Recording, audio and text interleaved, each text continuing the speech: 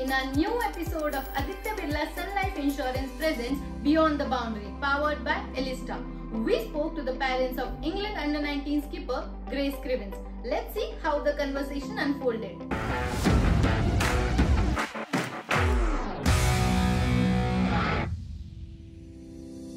Hello, I'm Trevor. I'm Grace Scrivens' dad. And I'm Debbie, I'm Grace's mum. Yeah, so uh, closing to 300 runs in this tournament. Clearly, if no, no one is doing as much good as she's done with bat and ball, shoe in probably for the player of the tournament. How's the feeling to watch your daughter in England colours? Oh, fantastic. She's been playing at a high level since she was eight, captaining since she was about 10 for Kent. Just dreams coming true all the time. Fantastic. Still, still very nerve wracking though. Every uh, every time you watch, it's still nerve wracking. Uh, 93 the other day, fantastic innings, flawless innings, I should say. Uh, you've seen her play all through his, uh, these years. Do you think that was probably one of her best innings? Yeah, I think she batted really, really well, but she should have got the extra seven, got a 100.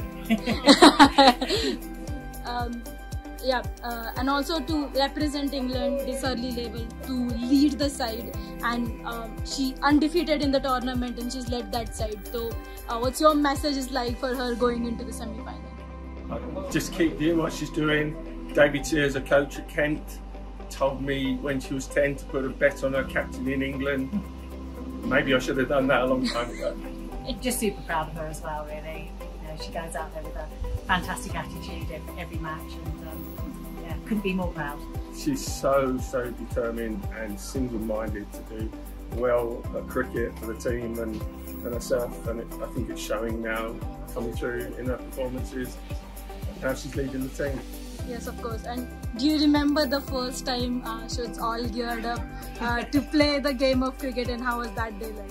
I do. She was two year old. Um, I took her out to play in the garden and she picked up the bat left handed. She's right handed on everything. Picked it up to play left handed.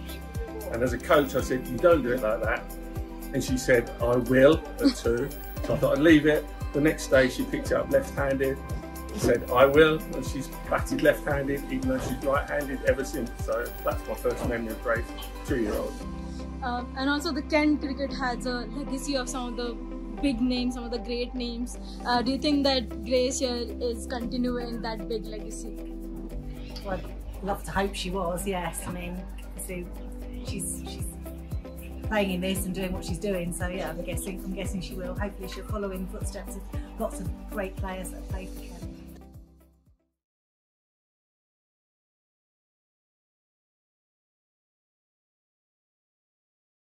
Smart हो रहा है India जैसे India में बना Elista smart LED TV with world class clarity and amazing features